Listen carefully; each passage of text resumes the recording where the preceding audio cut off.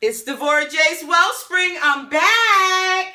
I wanted to share with you all this morning how I get my heart rate up. I set this goal for myself a little over a year ago.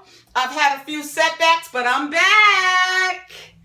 I want to live a long, healthy, vibrant life, and so should you. Here we go. Let's rise up, everybody. Here we go.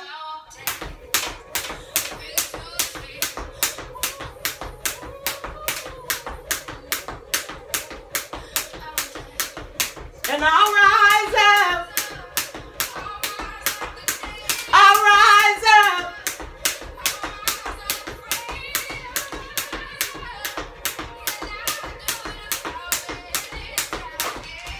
And you just keep right on rolling.